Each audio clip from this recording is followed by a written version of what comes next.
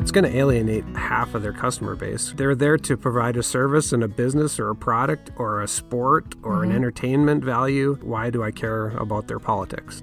I wouldn't want a business to quelch their ideas, but it would behoove businesses and brands to politick in the most productive way. And remember that the things that they do, the, the products they supply, the entertainment they supply, to focus on those more than anything else. True enough. And provide that to their fans and people.